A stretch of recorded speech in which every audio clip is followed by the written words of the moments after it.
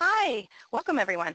My name is Sarah Carr and I'm coordinator for the Coastal Marine Ecosystem Based Management Tools Network coordinated by NatureServe and I'd like to uh, welcome our other co-organizer here today, Nick Wehner from Open Channels. Um, um, we're very pleased to have uh, Diogo Verissimo here with us today. He's going to speak on, uh, well, to target everyone is to target no one, uh, a quote he had in a recent article that appeared in the Marine Ecosystems and Management newsletter. And he's going to speaking, be speaking about what social marketing can offer conservation and management. Uh, Diogo is with Rare, Georgia State University, and he's a Smith Fellow, uh, which is a program run by the Society for Conservation Biology. Um, before we get started, I wanted to let everyone know how to ask questions. We have dedicated time for question and answer at the end of the presentation, but um, if you want to send in questions during the presentation, you can type them in to the question panel of the user interface, um, and then substantive questions will hold to the question and answer period. Um, uh, but if you have any quick clarifying questions, um, you could send those to, and I might uh, be able to stop Diogo and ask those questions depending on what they are. Um, but we encourage you to send in questions throughout the presentation. Um, there's also the option during the question and answer period uh, to ask your question directly to Diogo, with it. Um, and you do that by raising your virtual hand. There's a little hand icon in your user interface. If you raise that, then I can unmute you and you can ask the question directly to Diogo. Um, this option only works if you have a working microphone or if you've called in on the phone if you've entered your PIN number. So anyway, uh, welcome Diogo. We're so glad you can be here today. I'll turn it over to you now. Sure. Thank you very much for, for the invitation. It's uh, it's really great to see um, a webinar on, on this on this sort of interface between conservation and marketing uh, really have um, that much uh, get that much traction and get that much interest. Certainly, that's that would not have been the case uh, even four or five years ago. So it's it's really great, um, yeah, to have this opportunity to talk to you all. Um, so I'll I'll start with a two very quick minutes about myself. Um, so my name is Diogo Verissimo. I was born in Portugal, in Lisbon. I live in Washington, D.C. currently, and my first job in conservation was as an educator at the Lisbon Zoo, also in Portugal. So today, I'm, I'm hoping to talk a little bit about what marketing is. I'm hoping to do a little bit of marketing for social marketing and I'm hoping to then get a little bit more practical and talk about about how, how, how these these principles apply in more practical situations when you actually want to use them. How can they actually improve um, the way we message and the way we sort of communicate with our um, with our target audiences. And then at the very end, give you a couple of examples of um, some of these things that are already happening at the interface between particularly marine conservation and uh, and marketing that um, can be interesting examples or resources um, for you to use and, uh, and look up uh, after the webinar. So okay, so what is marketing in the end? Um, so one of the interesting things about marketing is that, um, and one of the things that really got me interested as, uh, as I was sort of looking more into conservation was that marketing really doesn't sit uh, as a traditional academic discipline. It's more of a professional, sort of more of a, a, a practitioner's a field. So it, if you go to university, for example, it sits in the business school a little bit uh, oddly, sort of in, in between a lot of different, a, a lot of other things. Um, and that's good, um, and, and that's interesting that it's difficult to sort of box marketing so, you know, create defined boundaries around it because really when you think about um, marketing in a traditional sense in consumer behavior, there's really a lot of different fields that we could draw on and learn from um, and, and, use tools from um, to, to, to be able to be more, more effective. So, you know, psychology, sociology, anthropology, even, even fields outside the social sciences, like neurobiology, for example, are very relevant to the types of uh, questions and challenges that uh, marketeers face. So if you want to break it down to the most sort of basic, simple element, it can be broken down into this sort of uh, scheme. We have a, you know, sellers and buyers. You have an exchange. Products and services go one way. Money goes the other way. And you have some sort of communication loop where the sellers communicate to the buyers and sort of talk to them about how great their offer is. And at the same time, the buyers sort of have this feedback loop. They close the feedback loop by actually choosing, by exerting, you know, they have their um, the choices and by making those choices and revealing their preferences, they actually tell the sellers what works for them and what doesn't. So obviously this is a pretty simplified, you know, two boxes, four arrows um, sort of scheme. And once you sort of break down that one arrow that says marketing, um, you start seeing there's actually quite a lot under the hood. So traditionally, and um, for those of you who might have uh, had a little bit of contact with uh, some of marketing theory, for example, you know that um, there's a, these these these these sort of institution of marketing called the four P's of marketing. So you have you have them the product, price, the place, and the promotion. So these four things are are really really sort of summarize a lot of what marketeers do, and they have a lot under under under each of these headings. So, you know, you think about your product in the traditional sense will be what you're offering. So in terms of the, the, features and the brand name, all of that. The place is more about the channels, how you communicate. Promotion is what's more visible usually, things like advertising. And then price, which could be financial if you're talking about uh, or, or a, a monetary cost if you're talking about actual business transaction in the very traditional sense of marketing, but it could also be a different thing. And uh, I'll, I'll say a little, a little something about that now. So a lot of these concepts don't necessarily apply uh, or seem pretty distant uh, to the reality of what conservation sort of practitioners um, face and, and the conservation problems that we try to solve. Um, however, this sort of scheme that uh, we just we just talked about can actually be translated into something that becomes, I think, a lot more relevant very quickly. Um, so if you're in a position where you're hoping to drive a particular, the adoption of a particular behavior or a particular change in a behavioral pattern, in essence what you're doing is you have usually some sort of value uh, proposition that you want to make to your to a group of people and and ask them to change behavior in exchange for that. That's usually the that that would be a, a more sort of social marketing way of looking at it. And obviously, you know, the way you do that, the way you uh, talk and communicate and message that target audience group is your social marketing effort. And then at the end, you have that feedback loop that closes and you, know, you see if people are on board with your message, if they agree with you, if they um, if they are um, if they're sort of in sync with what you're uh, communicating to them or not really. So that's where the loop closes. Um, there's actually another challenge uh, when talking about what is what is marketing, what is social marketing, um, and that is that there are a lot of other terms out there that are somewhat similar, that have some um, relationship with marketing, uh, and that are used very often interchangeably, as if they all mean sort of the same thing, but they don't. And so it's sometimes creates difficulties in communicating and, and really understanding what it, what is it we're talking about when we're talking about something like social marketing, for example. So in this case, for example, I won't go through all of them just in the interest of time, but I'll go through a few that um, have a tendency to crop up quite a lot. So one of them is social media, this, this distinction between what is social media, what is social marketing, um, and is also, to make it even more uh, uh, complicated is even social media marketing. Um, but anyway, I'll stick to these two for now. And so in essence, so social marketing is in essence using uh, marketing techniques and concepts to improve um, or, or, to, to drive a, a change in behavior uh, that will benefit the person who changes the behavior and society at large. So that's a very sort of high level definition of what social marketing is. But social media is just a channel. In this case, it could be, you know, it could be Facebook, Twitter, uh, Instagram, the things, the most, the more sort of widely used um, sort of channels. But social media is just about a channel, a, a channel you can use to get a particular message to your target audience.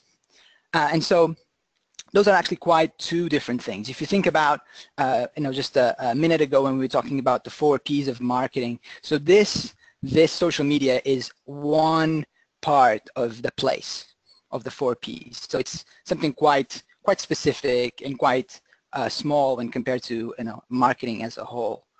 Um, the other one that comes up very often is advertising, and very often is used interchangeably because um, it is very often what's more visible. Once you go through a marketing effort, advertising really is what very often what's more uh, what stands out and what you'll get uh, your contact with.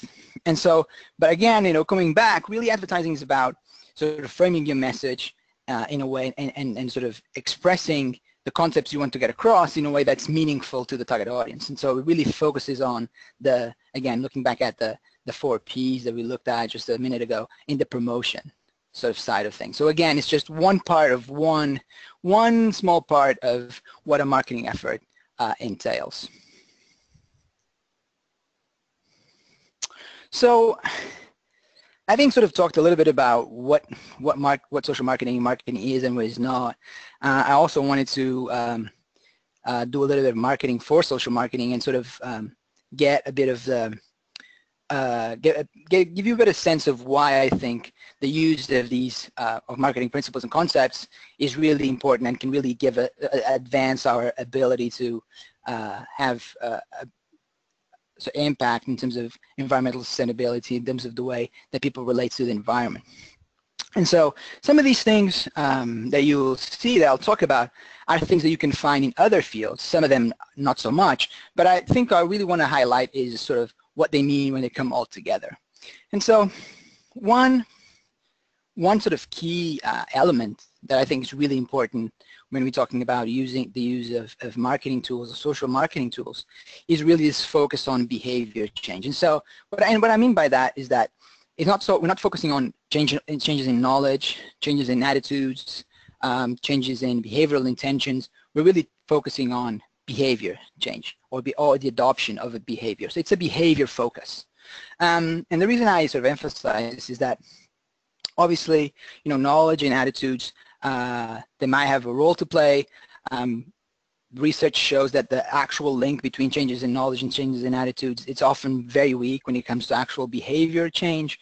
And so marketing, marketing uh, might have um, they might might have some interest in understanding and, and very often has in, you know a lot of strategic understanding of attitudes and knowledge and what the gaps are but the success of an initiative boils down to behavior and I think that's really important that we focus on the things that really have uh, some actual real-world impact. Sort of another uh, in, another sort of side of marketing I think is, is very important is this focus on evaluation, on learning what works and what doesn't, which is, I would argue, as important, if not more important than what, learning what works. Um, and that's just because very often we all realize that marketing or, or, or not marketing. Conservation is uh, a sort of medium long-term effort and it's not something we can solve very quickly.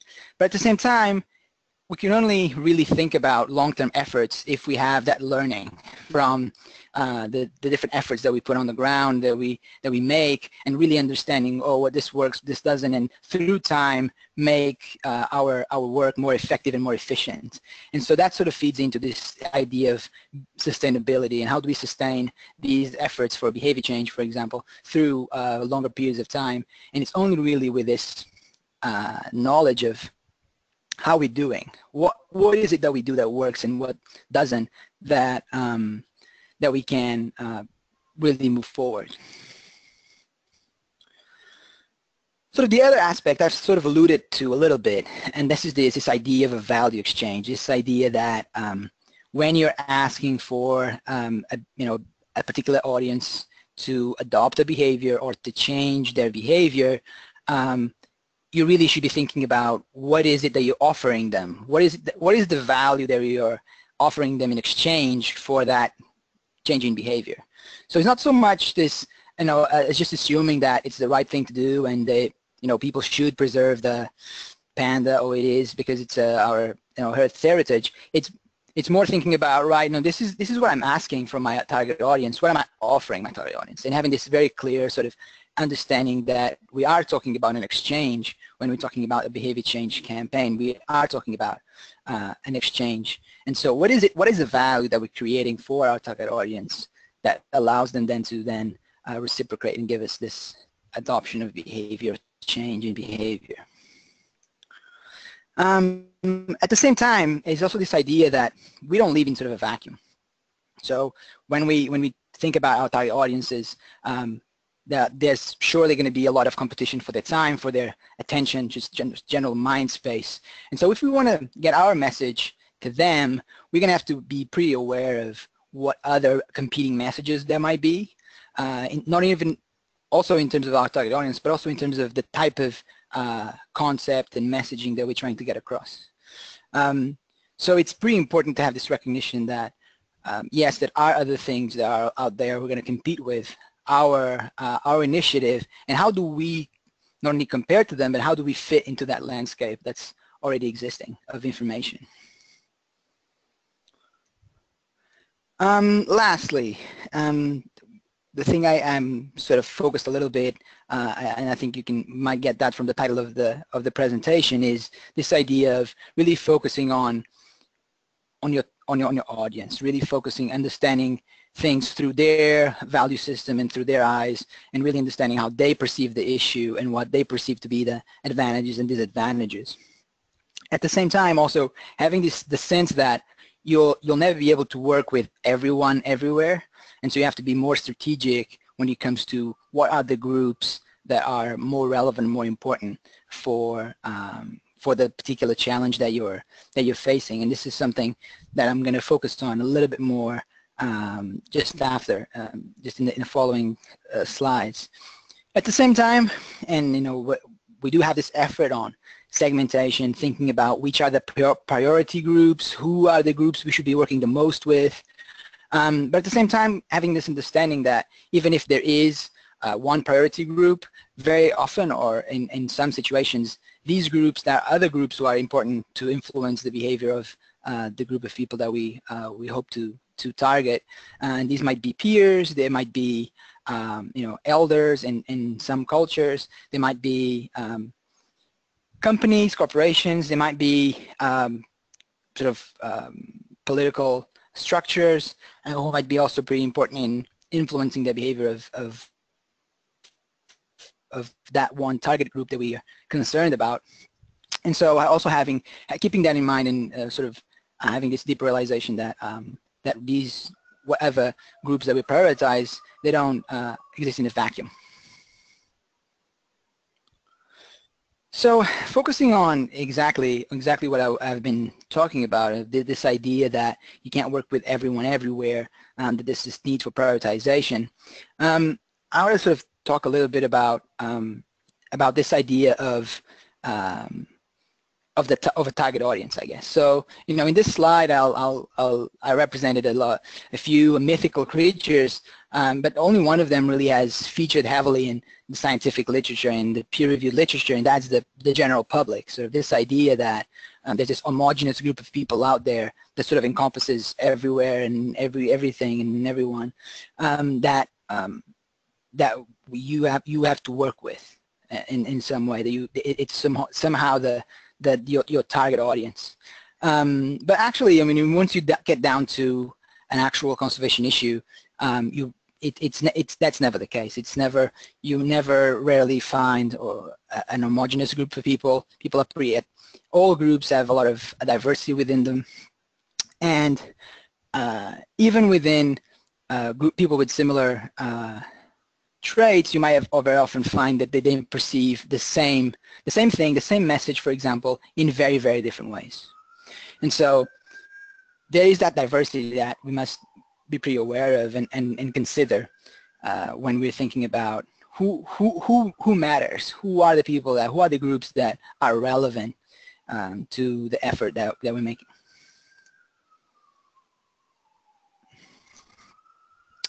So yeah, so once once we have this this uh, this sort of notion, really there are two processes that are, that are important. And of course here, I mean, we're not talking about customers. I took this from a, a commercial marketing book. We're talking really about target audiences. And this is really two steps really. One is the understanding that there are several groups in the population that we're working with.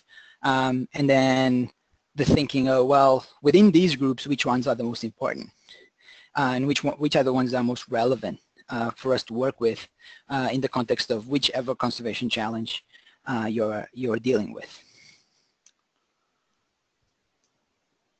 So obviously one way, there's many, many ways of doing this, but one way I, I always like to start is by thinking about, you know, very being very exact and concrete about what is the threat, the conservation issue that you're dealing with. So there's many ways of, of scoring and uh, rating threats. This is just one uh, where you look at scope, severity, and irreversibility.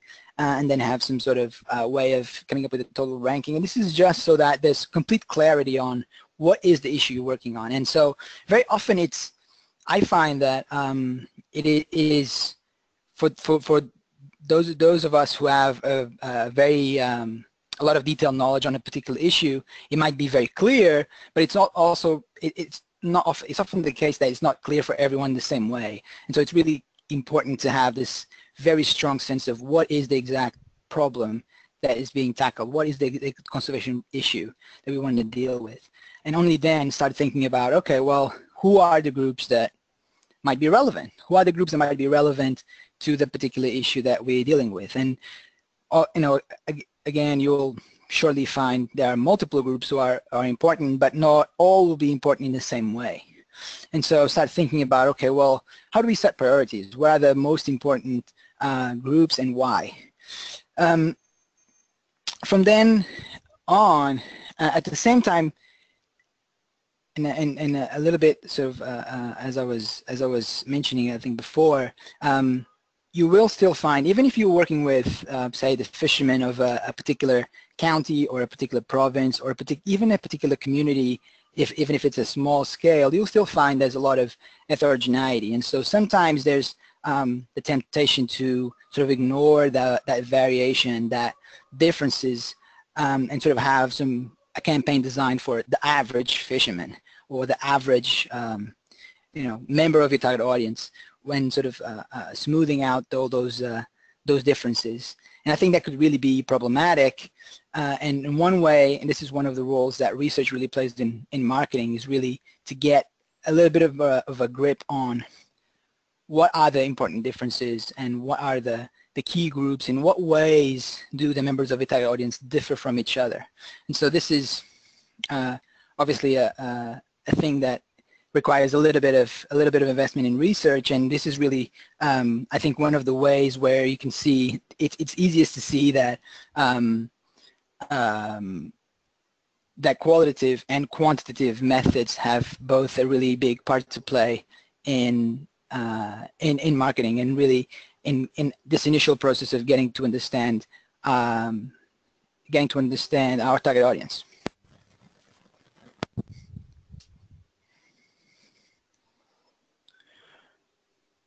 So beyond this process of um, understanding who, who it is we're talking to and how how these these the different members of that group differ from each other and what are they the, the key characteristics we need to be aware of, then there's this idea that when we communicate with that group of people, we need to have a message and uh, the content and the concepts we're communicating need to resonate with them.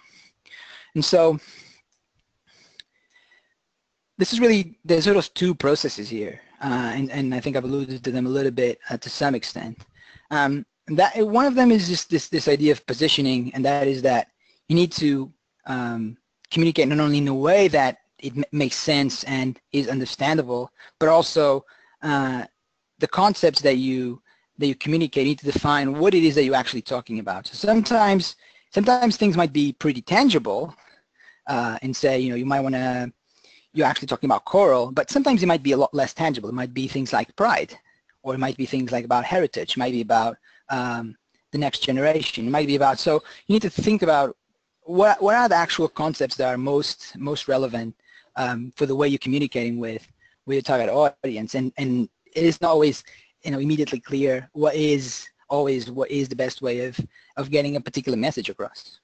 And the other one is this idea of differentiating your offer. So there, there will be lots of competing messages, lots of competing influences out there, and you need to make sure that your message, the way you, you frame the, the issue is the one that uh, uh, resonates the most. And so, so as sort of an example of, of, of how, I guess a contrast of how a lot of the industry um, has done this and how we do this in conservation, I'm just going to propose that we just um, watch this uh, short, very short video.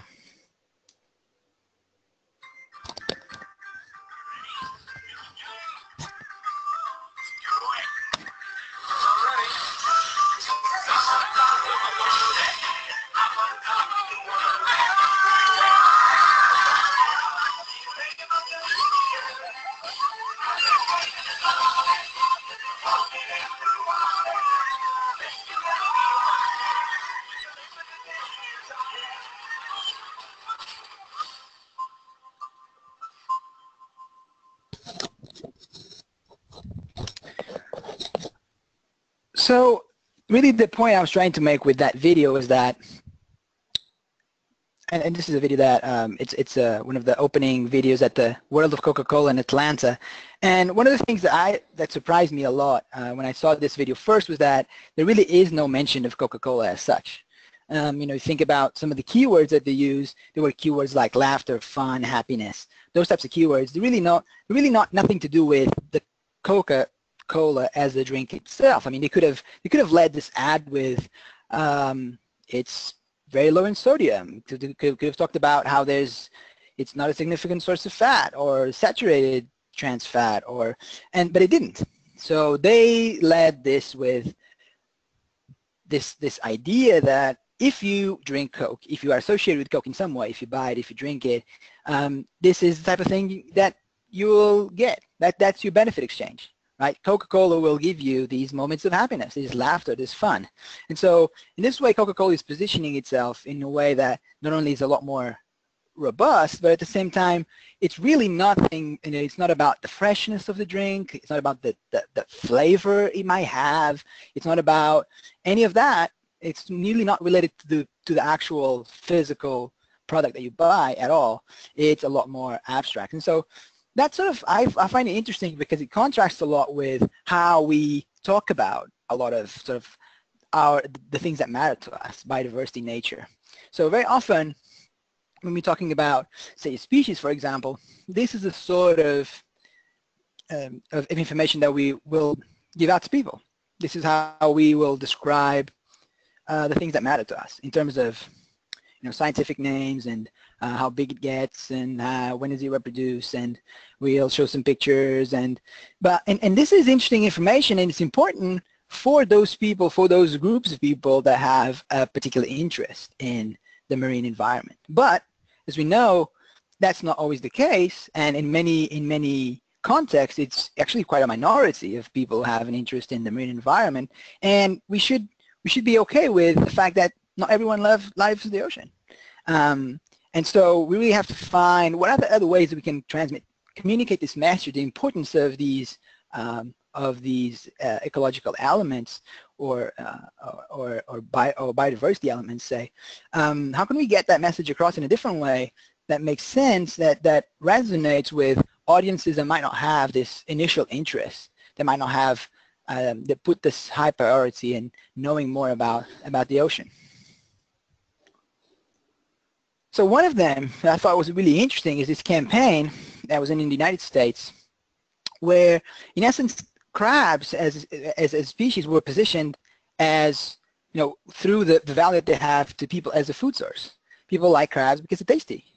And, you know, from the point of view of those who consume crabs, which I, know, I would argue that's a, a very wide, a very wide range group of people, um, that that's something that resonates very strongly with them. And so it's a, it was interesting to see um, to see all this messaging being produced from the point of view of those, not not necessarily those who, you know, um, see the potential of crabs as keystone species, but more of those who like to eat crabs.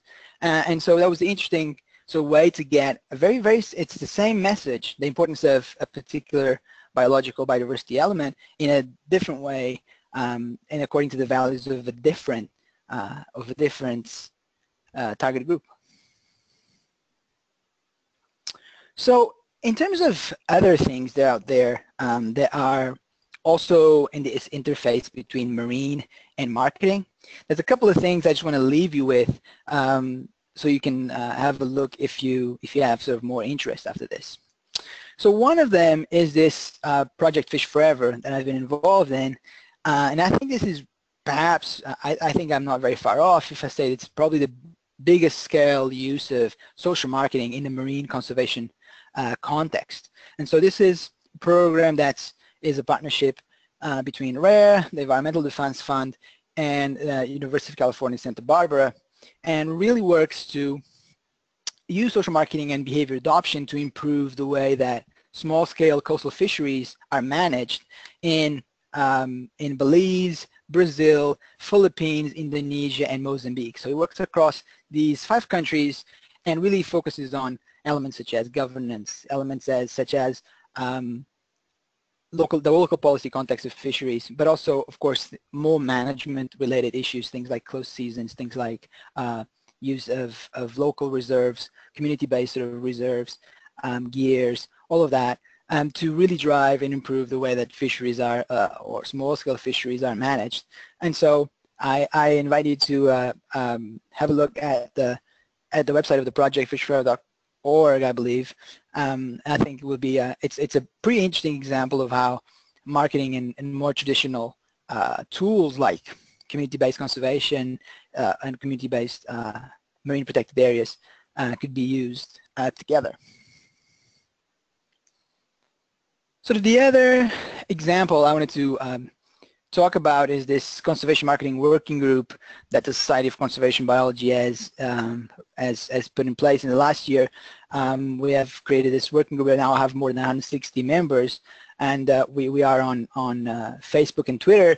So you can, um, you can, even if you're not a member of the society, you can still follow sort of the latest developments. And we, um, put out sort of a lot of news on latest research, uh, webinars such as this one, um, but also just, you know, any relevant uh, piece of information that might interest those who are uh, really have an interest in this interface between um, marketing and conservation.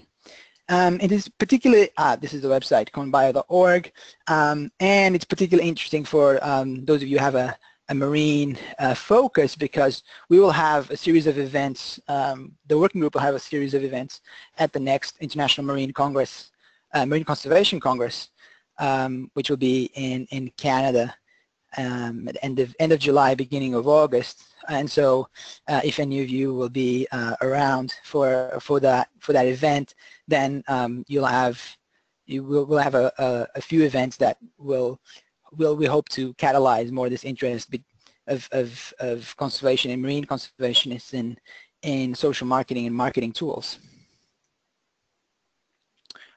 So uh, I guess I, I I want to make sure that I'm I'm pretty happy with I still have quite a lot of time for questions. I wanted to make sure that um, we really had and a lot of time to focus on what you have interest in uh, rather than uh, me trying to guess what, what might be the most relevant uh, thing to talk about given that there's so much that we could uh, focus on. And so what I'd like to do is um, have Science Cat thank you uh, for your time and of course uh, leave my contact uh, information in case you want to uh, follow up or have any interest on some, some of the things I might be involved in. So thank you very much. Great. All right. Thank you so much, Diogo. That was great. Um, just as a reminder, I want to let everyone know how to ask questions. You can type them in to the question panel, and I'll relay them to Diogo, or you could raise your virtual hand. Julie, you have your hand raised. Uh, it's been up for a while. So, um, and then I can try and unmute you and we'll see if that works for you to ask questions directly to Diogo. Um, but we'll get, we have a couple questions in right now and um, I'm sure people sense more. Um, let's see, how successful was the crab eating campaign in terms of raising money? Uh-huh. So, so uh, I should have said a little bit more about that. So the crab, the crab, the crab campaign was um, the idea of the the goal of it was to get people to manage their lawns in in a particular way, so that the runoff of um, herbicides and pesticides um, to local rivers was diminished. So that was the, the objective of that campaign. Um, so I, I, I, know that there there has been and there's a there's a book chapter um, on on this particular campaign they have have had some success on changing practices on uh, on some of the local uh, local uh, house owners. So I think there has been a reasonable uh, important impact. Of course, that with some of these some of these um, with some of these campaigns, and I think a lot of the this is one of the challenges of social marketing in the uh, biodiversity conservation context is that sometimes it takes it takes time from the change in behavior to the actual change in environmental, say, you know, the concentration of environmental pollutants or uh, particular chemicals. So you might st still see people changing their practices, but then when it comes to the actual environmental variables that you're interested in, there might there might be a time lag between one change and the actual, um, you know, and changes in the environment. So it, it's always a little bit uh, difficult to assert exactly what uh, the level of, of, of environmental impact that it has. Okay, thank you, Diogo. Um, and there was, let's see, um, sort of related to that, um, do you have any concrete examples of conservation campaigns that raised a substantial amount of, of money? Yeah, so, uh, so, so, let me think. So I, I will say, I'll, I'll put a disclaimer out that my focus has really not been on fundraising. My focus has been on ch behavior change. And so I, I am, I'll try, I'm trying to find a way. I mean, so I know that, um, I know that there have been a lot of um, successful fundraising schemes from uh, different uh, conservation NGOs. So for example, um, uh, one example I would say that actually has a marketing related story is uh, the Hotspots campaign by Conservation International. Um, so that was highly successful at fundraising for conservation at, uh, at various points on Earth. And but actually, hotspots. If you think about hotspots as a marketing as a marketing tool, as a brand, that's a science-based brand. Um, it's actually it, it's actually a really interesting use of marketing techniques.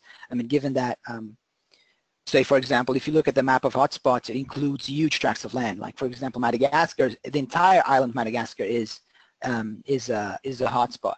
And so, but at the same time, it, it creates this instrument that allows you to use very high profile places such as say Madagascar, Amazonia to fundraise for other places that might be less um, marketable. And so this umbrella uh, brand of the hotspots actually allowed Conservation International to fundraise for a lot of locations that would have been, I guess, trickier um, if they were trying to fundraise individual for each location.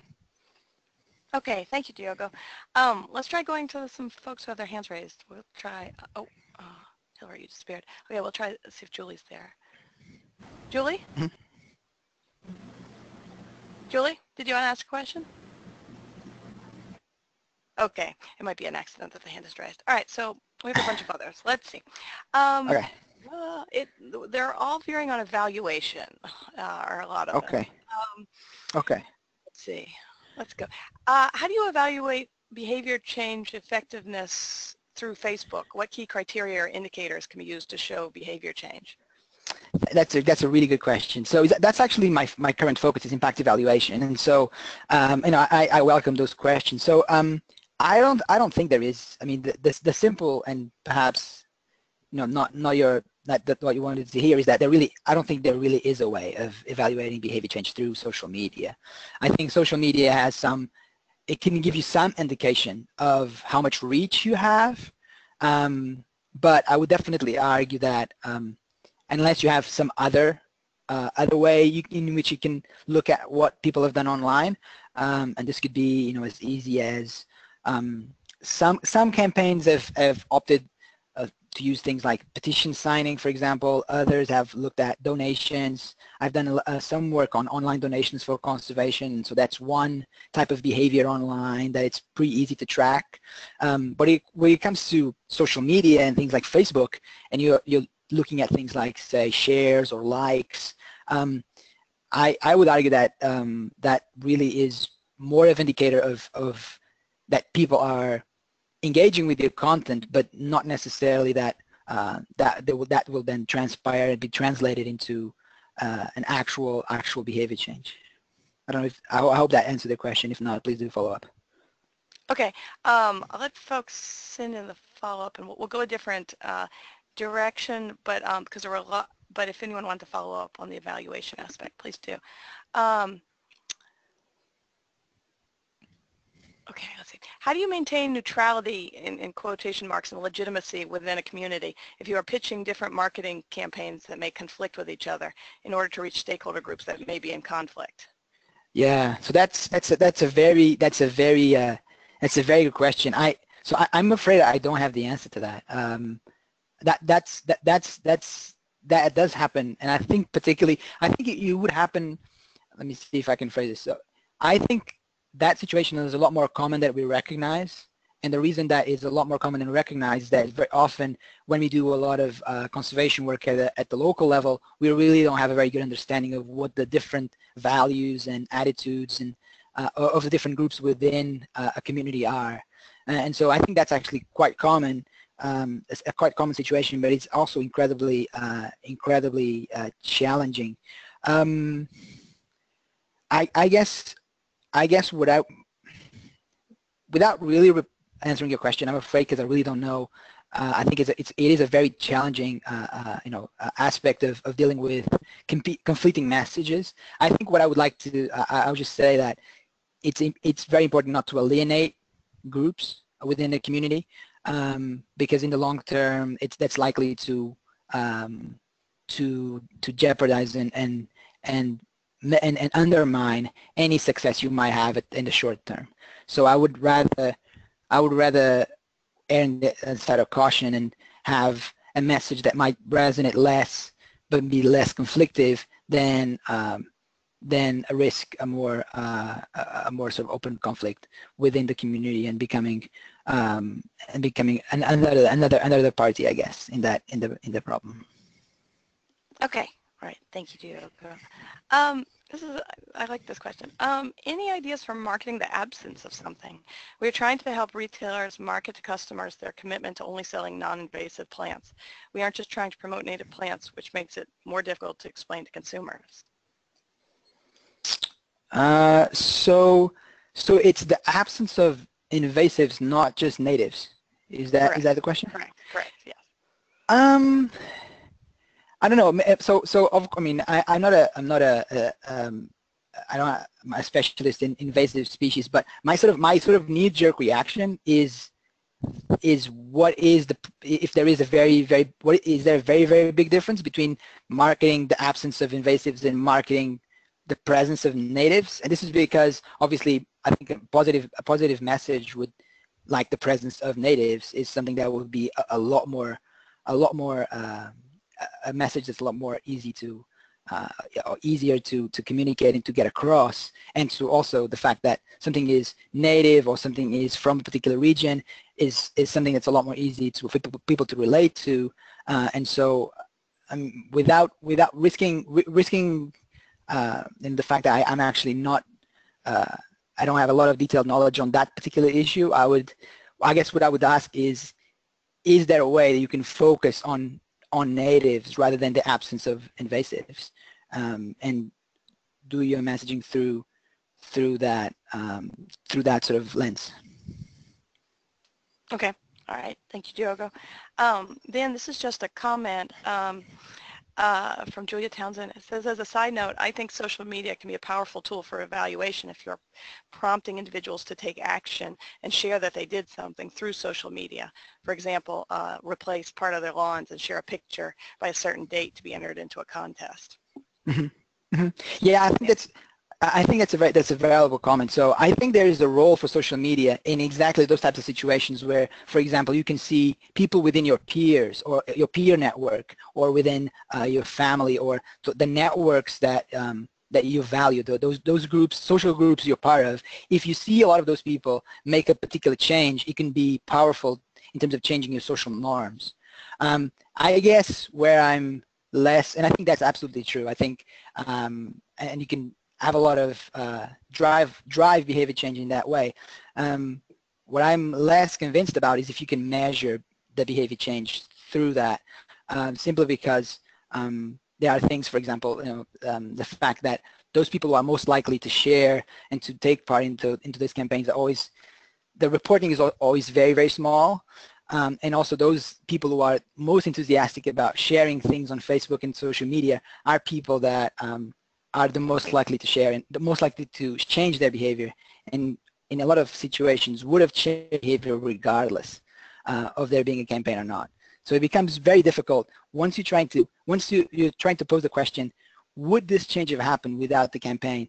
And what would the world look like uh, without the campaign? Thinking about counterfactuals um, that becomes it becomes tricky to use uh, social media uh, data. But I'm, I'm happy know I'm happy to discuss that more more detail uh, if, if anyone's interested. Okay, thank you. Um, Nick, could you post um, to everyone uh, the link where the recording will be? Uh, I, we probably won't have a PDF of the presentation, but we will have a recording that'll be available, and that'll be posted in the comments section right now. Um, so there were two comments from audience members, and not questions per se, but just talking about the natives versus invasives. Ah, yeah. Um, Okay, let's see, one. I actually have some experience regarding focusing on natives instead of invasives per the last question. One possible approach is equating specific invasives with natives based on function, water use, drought tolerance, blooming, etc., to show consumers that natives can provide the same function they're looking for when considering invasives, and then build on that to then market the additional benefits of natives, uh, such as they support local pollinators and wildlife habitat. Um, and then there was another con comment is, thank you for your answer. It highlights the difficulty of our task. We can't heavily promote or focus on native plants because that would alienate many of our retail partners who are for the most part selling non-native uh -huh. species. All right. Yeah, thank you. That that's that's uh, that that that does bring.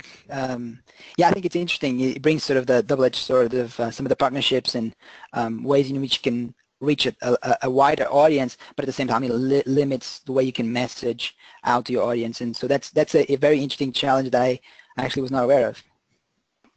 Okay. Uh, let's see, another question. Um, we have a bunch to choose from. Um, apart from evoking positive behavior changes in people that are interested, how can you use these tools to neutralize detractors, um, those that might set up roadblocks to getting positive outcomes? Um,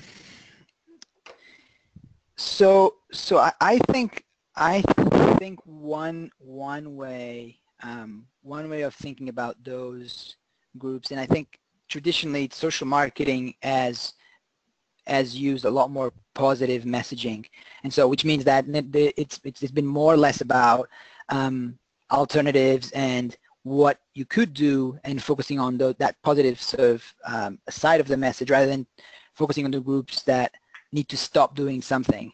And that is because um, there's a lot of um, sort of very often and, and sometimes social marketing has been criticized for being sort of paternalistic and sort of telling people what they can't do and sort of uh, who, who can tell what other people can cannot do and um, and so um, what I would say I think a lot of um, a lot of um, efforts have been put around the concept of social norms. So this idea that um, if the group, the social groups might be your peers, might be uh, some other context, if you see um, a change happening around you and what's considered acceptable around you uh, is changing, then you can uh, you can get to um, you can you can drive behavior change of those individuals, even if through the behavior of others rather than target them directly. And so this is something that, um, for example, if we think about some of the challenges that have been that we've we have now with um, wildlife trade, for example, or, or, or, wildlife trafficking, say,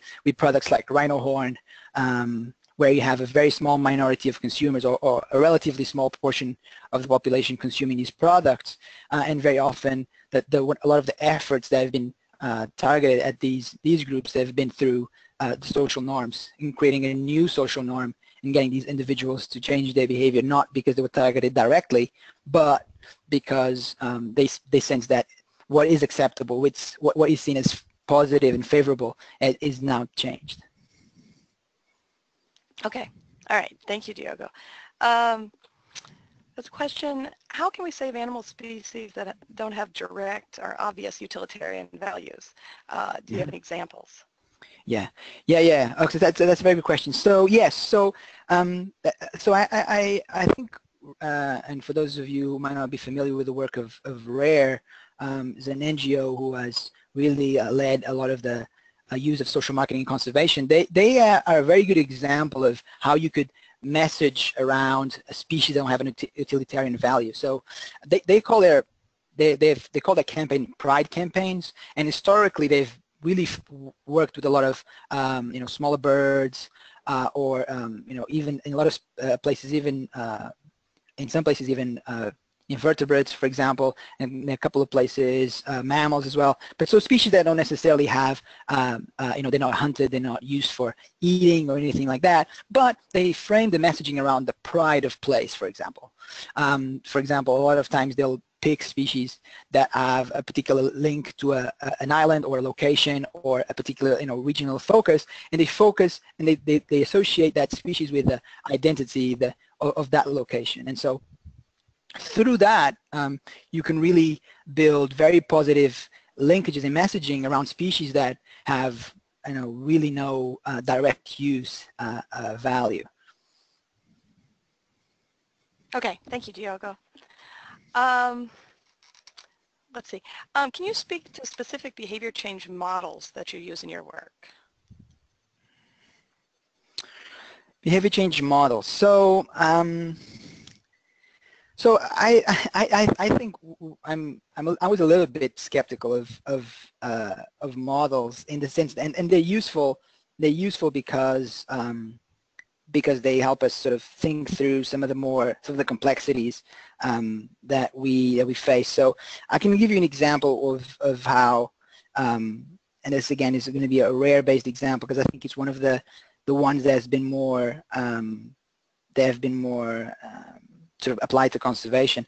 So I think obviously you have the more sort of classic theory of planned behavior type um, uh, uh, models and their uh, adaptations. And at Rare, they have this sort of theory of change um, that's based on sort of thinking thinking through knowledge attitudes and interpersonal communication and then how that relates to um, uh, barrier removal and then leads to behavior change. And I don't know if that answers exactly the the, the question you're answering.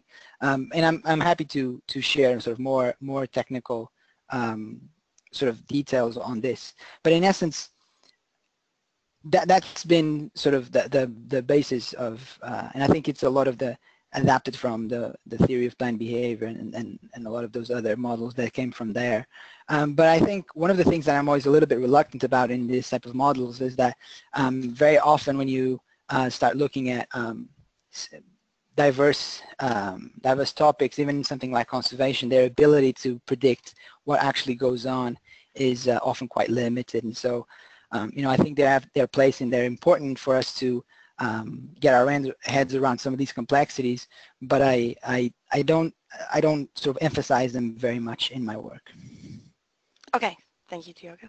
Um, and for everyone, uh, Jeff Keith sent in an example of absence-driven marketing, uh, a link to, to something, so I just posted that in the comment section if anyone wanted to check it out. Um, let's see.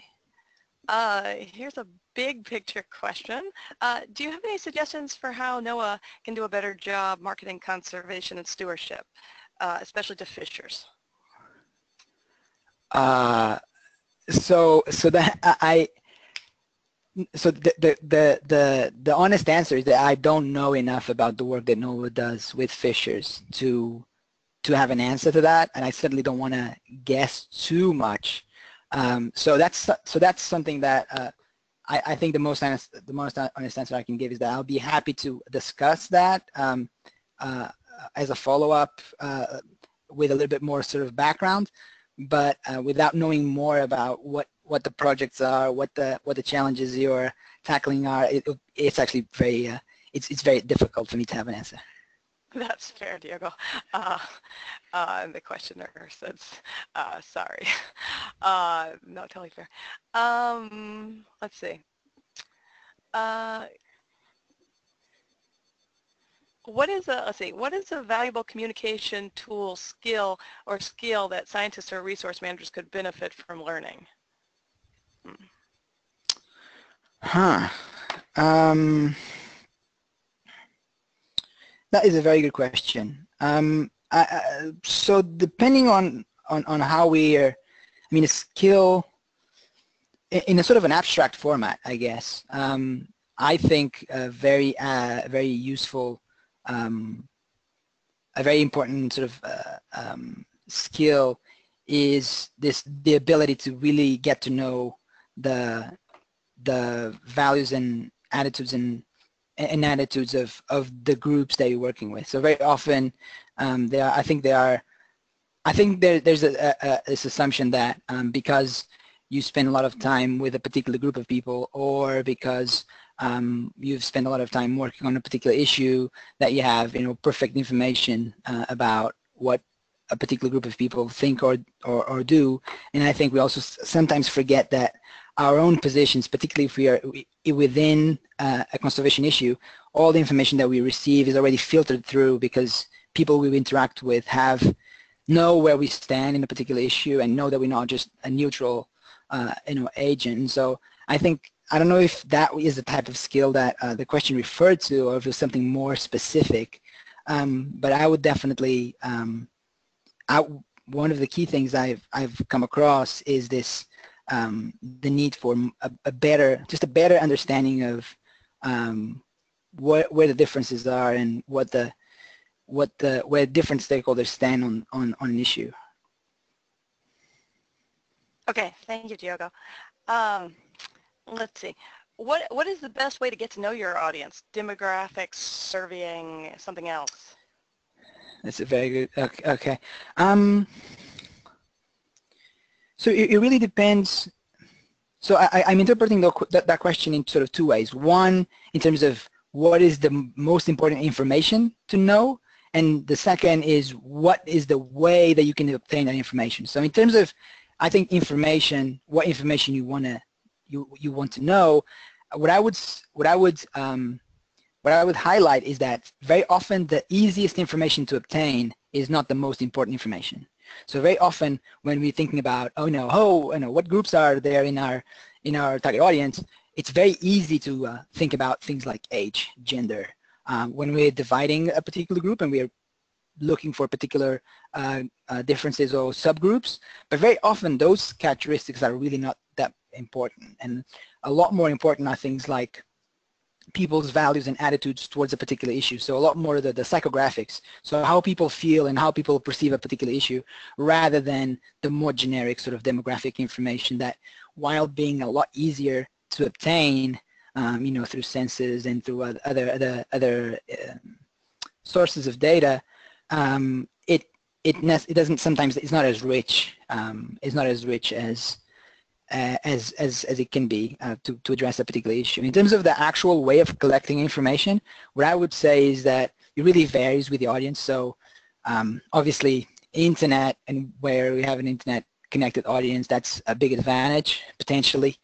Um, however, um, in a lot of places, one, one way that I'm, I'm now finding, finding in, even in developing countries where you can really get a lot of um, traction potentially is SMS as well um, you can get there are these SMS uh, survey services that are now um, that that that can really get you a lot of um, a lot of information in a relatively small uh, time period and even in audiences where um, they might be logistically difficult to access, for example. Okay, all right. Thank you so much, Diogo. Um, and we'll end there. Although there's a couple more questions, and I'll send you um, I'll send you a, a, document afterwards, which will have all the questions, um, including the ones we weren't able to get to. So sure. I'd like to thank, thank everyone for. Okay. Well, I'd like to thank everyone who was able to be here today, um, and Nick Wehner, who was helping to co-host. Uh, Nick's thank you. from channel.org. I'd like to thank Diogo for a great presentation and a lot of question answering. Um, so uh, uh, Diogo, if you wanted to say anything to the audience. And... Well, well, I, just want to again thank you for um, thank you for for your time and for uh, sharing this uh, this hour with me and uh, for your interest in uh, in this topic. And uh, and I just want to say for any of you had questions or have interest, please do feel free to drop me a line and to engage. And I'm I'm happy to discuss any of these issues further. So yes, thank you, thank you for for for listening, and thank you for the invitation, of course.